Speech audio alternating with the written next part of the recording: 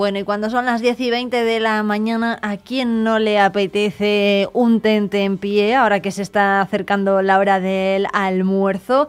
Pues yo les voy a hacer una recomendación porque ya, podernos, ya podemos irnos de bares para degustar las mejores bravas del mundo que las tenemos en Palencia. Ayer el bar El Maño se hacía con el primer premio en el concurso internacional eh, Una de Bravas y con Alberto Beltrán vamos a hablar en los próximos minutos. Alberto, buenos días. Hola, muy buenos días. Bueno, cuéntanos qué tal habéis recibido el premio y, cómo fue la jornada de ayer.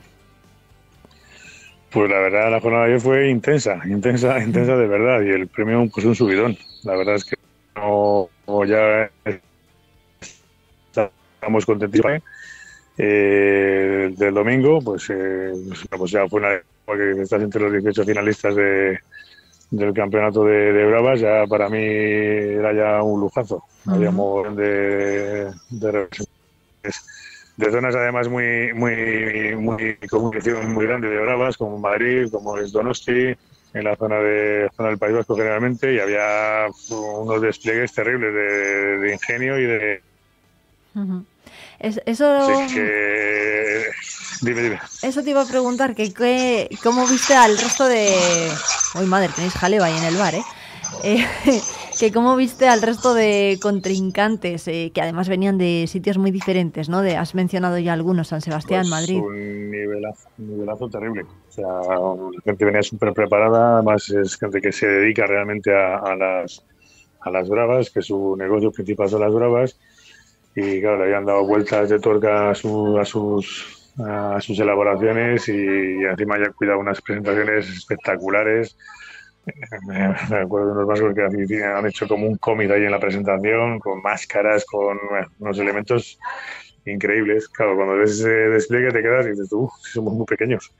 Pero bueno, vas aprendiendo de cositas y mira, al final hemos dado la campanada. Oye, eh, ¿por, qué, ¿por qué piensas tú que el jurado se decantó por vuestras bravas? Pues eh, primero, porque yo creo que nos hemos ceñido mucho a la realidad, a lo que luego realmente vas a poder poner en el restaurante. O sea, no hemos hecho ni fuegos artificiales ni, ni nos hemos salido del texto. Al final es lo que presentas en el concurso, lo que puedes presentar en el, en el restaurante. Que eso sí que es una máxima cada vez que voy a algún concurso y una cosa de la que siempre me he quejado y dices tú, yo no sé hasta qué punto luego en un restaurante que tenga mucho volumen de, ventas pueden llegar a presentar las pruebas con el espectáculo que montan algunos, que me parece fantástico, porque visualmente me parece espectacular y cómo, cómo lo hacen. Pero luego al, final hay que, hay que llevarlo a cabo en el, en el, sitio donde la vas a vender, claro. Y luego que eh, una, una, característica muy particular que tienen las bravas que, hemos hecho es que tienen sabor desde, desde, el, desde el segundo cero. O sea, notas los sabores de no, no tienes que esperar a que te lleguen el gusto a un poquito al, picante un poquito, a, la textura, o sea, lo, notas desde el primer bocado. Es decir, que eh, hay una cosa que me ha llamado la atención de lo que estabas diciendo, que, que las bravas que habéis presentado son las mismas que podemos pedir en el maño.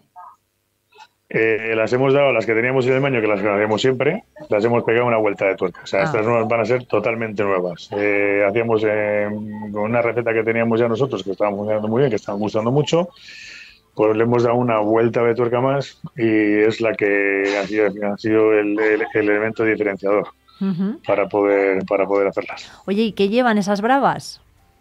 Yo no te voy a decir que nos digas la receta secreta. Pero... no todo. ¿Eh? ¿Qué, qué? Un poco la base, que es una patata de aquí de la Ojeda, que es, que es la patata maravillosa, que da mucho juego para, para, para cualquier elaboración y para esta también, evidentemente, que nosotros la cocemos especiándola, ya la ponemos con, un poco de pimienta, con tomillo, con romero, con lo cual si la comieses sola, sin la salsa, ya la, la, patata mismamente tendría ya sabor, tendría ya un sabor un poquito diferente a lo que es una patata, una patata pero luego la, la, elaboración de la salsa, pues hombre, al final hemos hecho la base, la base de una salsa tradicional, de una brava tradicional, a la que le hemos añadido una nueva cocción, que es la que no te voy a contar. Eh, y luego al final hemos acabado rematando con la, con la salsa kimchi que teníamos nosotros en, en, el bar, que le da un poco un toque un poco exótico, que le da un poco pues diferentes. Qué bueno. Oye, entonces el secreto está en la salsa. El secreto está en la salsa, exactamente, sí, ahí, ahí. Ahí, eh, está, ahí está el truquillo. Pero el secreto está en la salsa que hemos buscado elementos que de la cocina tradicional nuestra. Lo que pasa que al final, fusionándola con, con toques un poco orientales, un poco, un poco exóticos, como puede ser la salsa kimchi, que es una salsa final de la zona de Corea y tal, pues eh, se ha conseguido una, una simbiosis, para mi gusto, muy buena. Qué bueno. ¿A la gente, a los palentinos les gusta entonces este toque de salsa kimchi? Pues eh, mucha gente no se atreve por el desconocimiento, se piensa que va a ser una cosa súper picante y una cosa súper super agresiva, pero una vez que la prueban, pues eh, les está encantando. Además lo, lo utilizamos para otras elaboraciones pero no es ahora mismo en las patatas que hemos hecho no son no es la no es lo principal. Ahora mismo es el toque que le hemos dado a la, la vuelta de tuerca que le hemos dado que, que le hacía falta pues bueno para al final para para decantar el premio para aquí para Palencia. Qué bueno. Oye a ti Alberto cómo te gustan las bravas que cómo me gustan las bravas. me, he crecido con las de la Meji. que, las de la Meji que son las más tradicionales y para mí las más las más reconocibles para, para mi gusto a mí me encantan así. Luego, pues claro, a base intentas copiarle la receta a ellos, no la sacas, no, no, no somos capaces de hacer lo mismo y vas dándole una vuelta pues hacia, hacia, lo que tú trabajas, a lo que tú estás acostumbrado y al final, bueno, pues evidentemente las que tenemos ahora pues también me gustan, claro, como no. Bueno, eh, del resto de cocineros que competían, no sé si has podido coger alguna idea o te has fijado en, en algún truco que hayan utilizado sí, al final, al, final hay, hay, hay monstruos, hay una gente que son monstruos, se dedican a esto y y pues ves, ves ideas. Eh, lo guay de salir a los concursos y a, ir a, pues a, concursos de todo este nivel es que es que luego la gente además es muy cercana. Eh, lo mismo te dejan una freidora como te dejan una puntilla en un momento dado. O, sea, la gente viene con muchas ganas de, de, de, ganar, evidentemente, pero luego de, transmitir sus conocimientos. No, no, se corta nadie en, pues ¿cómo ha hecho esto? Pues he hecho esto de esta manera. O sea, al final es, es maravilloso. el ambiente es, es, perfecto. Yo creo que además, según lo ha llevado, según lo ha llevado Javi, que, que hace que todo sea muy cercano, Javi en segundo, pues que él está muy involucrado en el proyecto, está, es un niño, ¿no? Es, un niño y al final le quiere mogollón y, y, le, y le dado un, pues, pues, eso, le da, le da, le da un toque guay, porque al final le hace mucho, muy cercano a todos los competidores vamos a competir, pero al final es un ambiente muy cercano.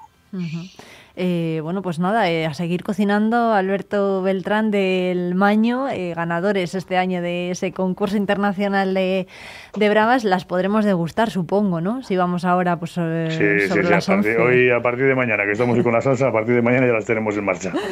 Muy bien, pues enhorabuena y, y muchísimas gracias.